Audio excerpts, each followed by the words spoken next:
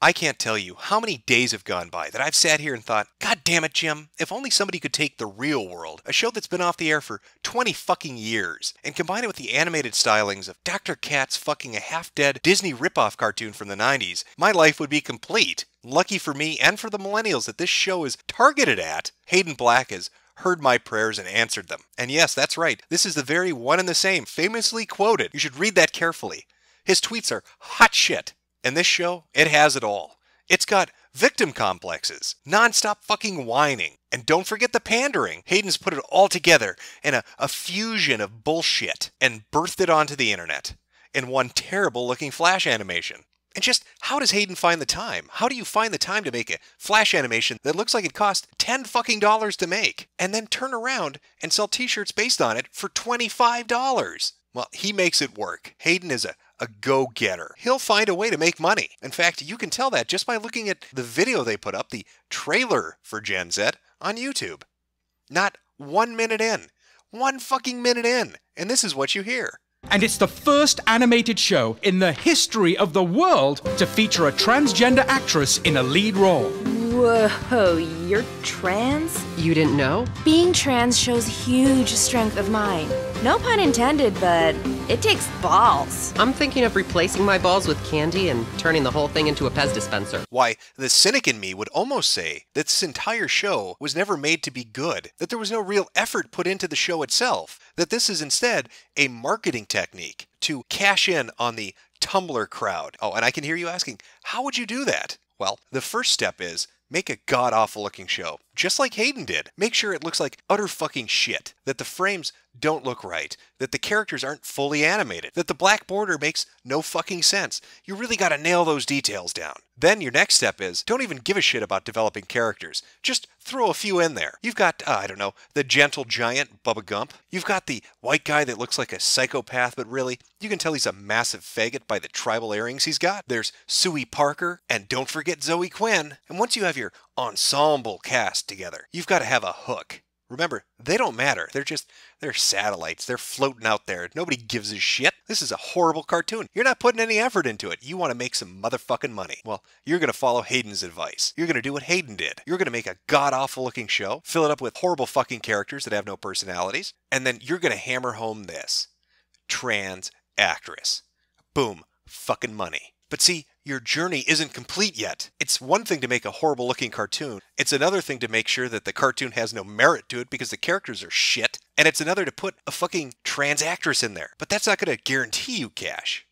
No, you've got to get a little oppression going on. You got to get you got to get some heat on you. Well, how are you going to get some heat on you? Well, the first thing you're going to do is open up a Twitter account. Then you're going to buy a bunch of followers because nobody's going to want to listen to the dumb shit you have to say because your cartoon looks like ass. Once you got all those followers, you're going to start raising a ruckus, talking about how the trolls are coming to get you down. Just make sure that your lead trans actress doesn't actually let it slip that you've been going on to 4chan and 8chan and antagonizing people intentionally to get them angry so you can cash in on the offensive, I'm oppressed bullshit. Oops. Once that's going, you got to go to a really shitty journalistic outlet. I mean, I'm talking dog shit here. It's got to be it's got to be fucking horrible. Mary Sue sounds like a good choice. You go to the Mary Sue and you say, "Oh, I'm so oppressed." And then they're going to write up a fluff piece and they're going to tickle your trans balls.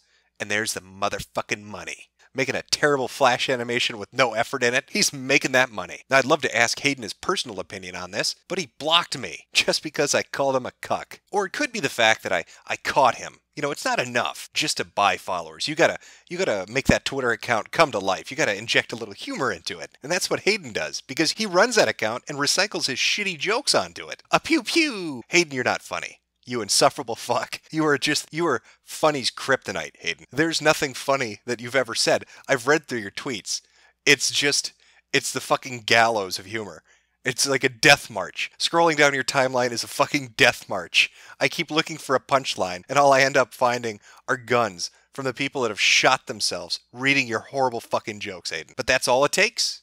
Welcome to the new age, Gen Z, where we sell oppression and we hustle people and we blindside them with bullshit and use inclusivity and diversity as a smokescreen to sell them $25 t shirts, where we try to hype up the fact that we have a trans actress like that means anything Like that's important. Like the show is better or worse because of it. Now, instead, we're just going to use it as a marketing point. It's a sales pitch. And dumb fucking kids on the internet, they're the purchaser.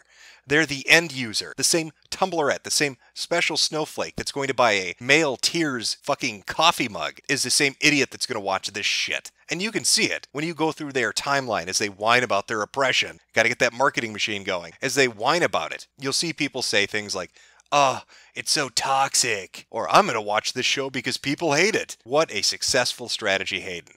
Bravo. You've found a gimmick that works. People are idiots today, and they are so easy to take advantage of. You just need to know how to pitch it to them. And you found the perfect pitch. You're selling them oppression. They're all upset. See, that's one of the things about millennials, and SJWs in particular. One of the things that really gets up their ass is they're born in a time where there aren't really great civil rights struggles, and they want to get hit with a fire hose. You know what I mean? They want a few dogs sicked on them. So they'll find anything they can latch onto and act like it's some kind of fucking cause to fight for. So your marketing pitch of trans actress, trans actress, trans actress, that appeals to them. Oh, they buy into that shit hook, line, and sinker. But you and I, Hayden, and this video is directed at you, you and I, we both know what you're doing. You can pull the wool over their eyes, but you're not fooling me. You're hustling them, and you're disgusting for doing it because you're so blatant about it, Hayden. You're such a scumbag. You're so fucking blatant about what you're doing. You don't give a shit about the fucking alphabet of sexuality, the LMNOP, QRST, GT, or whatever the fuck they call themselves. You don't care about the trans community. You just want to make some fucking money. So you took a horrible product, you put no fucking effort into it. You thought, what's the best thing I can latch onto right now? Oh, transsexuality. You put a trans actress in there and acted like that made your show good. And then you went out intentionally to piss people off and bait them on their community sites, to whine about oppression, to get free press, to sucker in the idiots on Tumblr and other sites like Tumblr, so you could make some money selling $25 t shirts. You hack fucking fraud. You are unfunny, Hayden. You are unfunny and you are a horrible human being. The only tweet I want to see quoted from Hayden fucking Black in the future in a CNN article is, I'm going to kill myself. That is the one tweet I would gladly read from you, Hayden.